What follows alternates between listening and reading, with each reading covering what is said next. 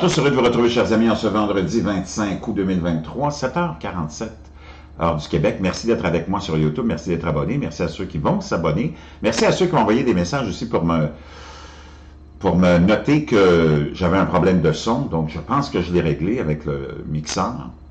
Euh, S'il euh, y a encore des problèmes, vous, j'ai testé, ça avait l'air euh, quand même revenu à la normale, mais enfin, espérons, merci à ceux qui, m'ont, qui ont porté ça à mon attention. Merci à ceux qui m'envoient des liens, des messages aussi. Donc, on a vu, il est arrivé un incident incroyable, euh, l'accident euh, d'écrasement d'avion euh, du chef de, ce fameux groupe Wagner, hein, entre autres, dans, cette, dans cet accident, Prigogine, et tout le monde se demande maintenant s'il il est vraiment mort, et on dit même que du côté de Wall Street Journal, on nous dit que les premiers renseignements suggèrent que Prigozhin a été assassiné selon des responsables américains. Les résultats préliminaires indiquent que ce n'est pas un missile solaire qui a détruit l'avion du chef euh, Wagner. Oh! L'avion transportant euh, Eugène Prigogine, chef du groupe paramilitaire Wagner, s'est écrasé à la suite d'un complot d'assassinat, mais n'a pas été abattu par un missile sol-air, ont indiqué des responsables américains.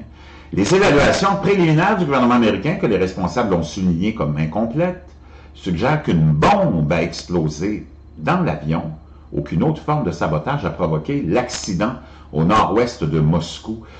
Le gouvernement russe a déclaré qu'il enquêterait sur mais n'a pas fourni d'explication. Les réseaux sociaux proches de Wagner, de Prigogine, ont affirmé que l'avion avait été, été abattu par un missile antiaérien militaire russe. Nous n'avons aucune information pour le moment suggérant qu'un missile solaire a été lancé contre l'avion privé qui transportait euh, Eugène, euh, Prigogine, Eugveni, ou bon, peu importe son nom traduit ou pas, a déclaré un responsable de l'administration Biden. Les satellites américains équipés de capteurs infrarouges peuvent détecter la chaleur, naturellement, euh, dégagée par les lancements de missiles et aucun n'a été détecté au moment où l'avion a été abattu, ont indiqué des responsables de la défense. Donc, c'est certain que ça, c'est assez fiable comme information.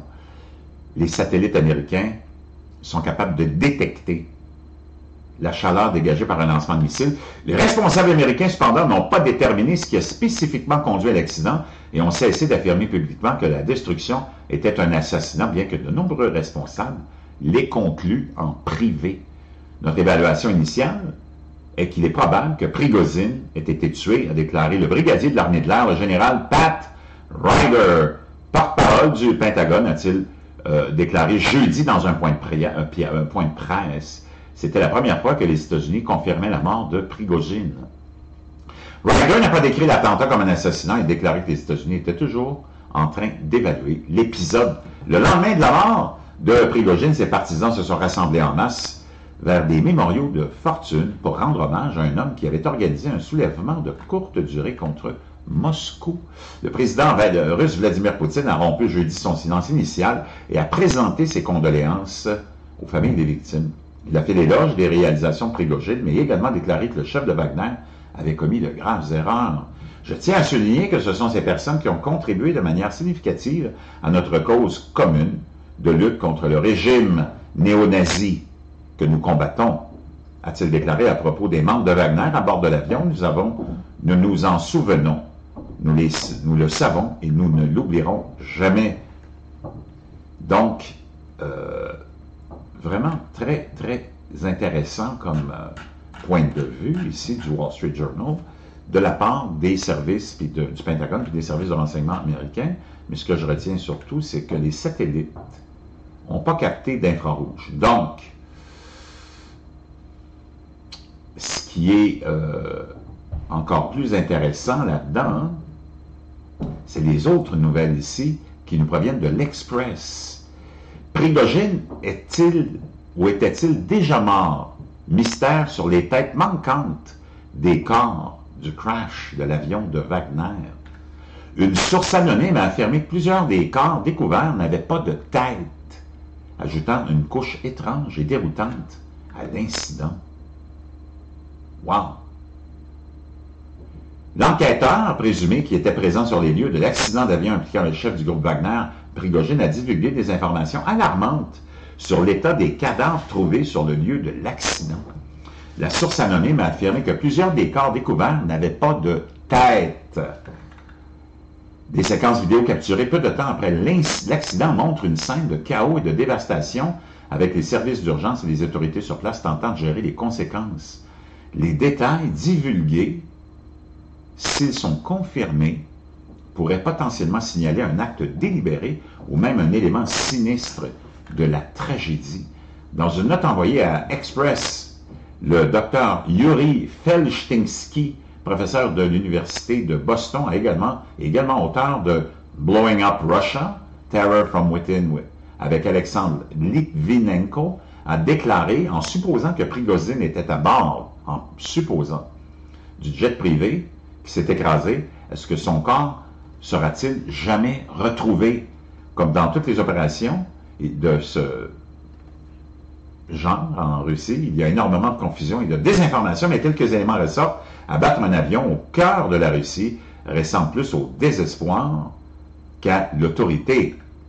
Si Poutine et le Kremlin étaient réellement aux commandes, Prigozhin aurait disparu dans les airs, comme le journaliste du Washington Post, Jamal Khashoggi, ou bien le cofondateur du groupe Wagner, Dimitri Utkin, qui, à notre connaissance, n'a pas été revu vivant depuis 2016. Pourtant, comme un mauvais sou, euh, Utkin apparaît soudainement mort dans le même avion avec son ami Prigozhin dans un coup de chance miraculeux. Il est peu probable que Prigozhin soit encore en vie, mais il est également peu probable que la désinformation venant de la Russie soit fiable. Cela vise probablement à nous distraire avec des spéculations sans fin sur Prigozhin, plutôt que de considérer le rôle de Poutine en Russie. Commentant les informations selon lesquelles Prigozhin aurait pu être tué avant de monter à bord de l'avion, euh, le docteur Felstinsky a ajouté, le simple fait est qu'à l'heure actuelle, tout ce que nous avons, ce sont des photos d'un avion en flammes, des corps apparemment non identifiables, une liste de dix noms, dont celui de Prigozhin et un message d'un responsable russe indiquant que l'avion de Prigozhin s'est écrasé. Ils sont peut-être tous liés, mais qui sait, lorsqu'il s'agit du gouvernement russe, les choses ne se passent pas souvent comme elles euh, semblent à première vue. Mais après la marche sur Moscou, le Kremlin ne voudra plus d'œufs sur le visage. Il semble que Prigogine lui-même ne reviendra pas pour raconter son histoire. Puis je termine là-dessus, ou presque, avec un dernier euh, article, lui, qui nous vient du Guardian. Prigogine est-il vraiment mort? Tout le monde n'est pas convaincu. Les théories alternatives abondent alimentant alimenté par sa euh, réapparition après avoir été tué dans un accident d'avion en Afrique en 2019. En 2019, Prigozhin serait brièvement décédé après le crash d'un avion de transport AN-72 en République démocratique du Congo. L'ambassade a indiqué que deux Russes se trouvaient à bord de l'avion qui transportait également des membres de l'équipage présidentiel de la République démocratique du Congo. Le chef Wagner est apparu cependant trois jours plus tard les informations faisant état de sa mort ayant été grandement exagérées. Alors que l'avion d'affaires de Prigogine s'est écrasé mercredi cette semaine dans le cadre d'un probable assassinat politique, il y avait à nouveau un air de doute ou d'hésitation à déclarer euh, que l'homme d'affaires lié au Kremlin pourrait effectivement être mort cette fois-ci. Il y a une énorme mise en garde à propos des premiers rapports, euh, et a écrit euh, Gans, consultant principal sur le programme russe, et euh, Eurasie à Chatham House. Il a été annoncé qu'un passager du nom d'Evgeny Prigogine se trouvait à bord, mais on sait également que plusieurs individus ont changé leur nom pour celui d'Evgeny Prigogine dans le cadre de ses efforts pour masquer ses voyages. Donc, jusqu'à ce que nous sachions avec certitude qu'il s'agit bien du bon Prigogine, ne soyons pas surpris s'il apparaît prochainement dans une nouvelle vidéo en provenance d'Afrique. Après que Prigogine ait lancé son soulèvement militaire avorté contre le Kremlin en juin, les enquêteurs russes ont divulgué des documents de son domicile montrant qu'il détenait des passeports supplémentaires pour d'éventuels doubles qui voyageaient en son nom. Il y avait aussi des photos de Prigogine portant divers déguisements, notamment une barbe épaisse, des lunettes de soleil d'aviateur et des uniformes militaires étrangers. On peut le voir ici.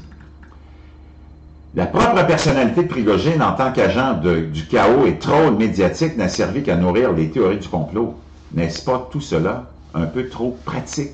Les médias Fontanka ont rapporté jeudi que le corps de Prigogine avait peut-être été trop défiguré par l'accident et l'incendie qui a suivi pour être identifié par les méthodes normales et disparaître à jamais après avoir pris l'une ou l'un de ses nombreux passeports de rechange, un avion incendié est un bon moyen de le faire. Peut-être que lui-même a tout orchestré ça.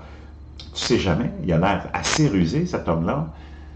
Euh, il pourrait avoir orchestré ça, peut-être, proprement, avec ses doubles, et peut-être, comme le suggère cet article-là, il est déjà ailleurs. Je pense qu'il est absolument inévitable que 50% de la population soit toujours convaincue qu'il vient de s'échapper, que c'est sa porte de sortie.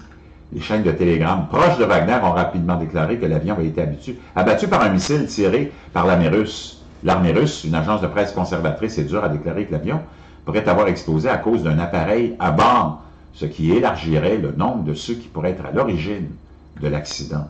Donc, comme on l'a vu dans l'article du Wall Street Journal, les, satellites américains n'ont pas détecté de missiles et ça aurait été tellement euh, probablement facile pour les services de renseignement américains et en leur euh, avantage de blâmer Poutine pour ça en déclarant que c'est un missile solaire qui aurait été tiré, mais on dit qu'il n'y a pas eu, on n'a pas détecté. Donc, je pense que ça, c'est assez fiable.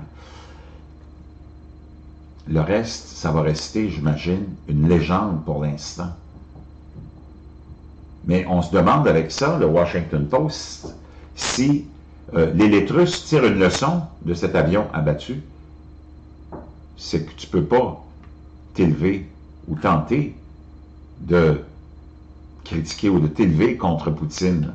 Lorsque l'avion qui transportait Prigogine et plusieurs hauts commandants du groupe paramilitaire Wagner est tombé du ciel à l'ouest de Moscou mercredi, sa destruction a envoyé un message terrifiant à l'élite russe, même si la cause de l'accident ne serait peut-être jamais connue définitivement connue. Quiconque fait preuve de déloyauté sera considéré par l'État comme un ennemi qui doit être liquidé, a déclaré un homme d'affaires moscovite bien connecté. Tout le monde croira que cela a été fait sur ordre du tsar. Nous ne saurons peut-être jamais si cela est vrai ou non, mais cela a effrayé tout le monde. Donc, c'est aussi ce qu'il faut retenir peut-être de ça. Je vous laisse ça dans la boîte de description. Mais fascinant. Est-il vraiment mort? C'est quoi cette histoire de ces corps qui sont trouvés sans tête? Des... Vraiment très étrange. Mais dans ces genres de groupes-là, face à des gouvernements comme ceux de Vladimir Poutine, ben, tout est possible. Je vais revenir.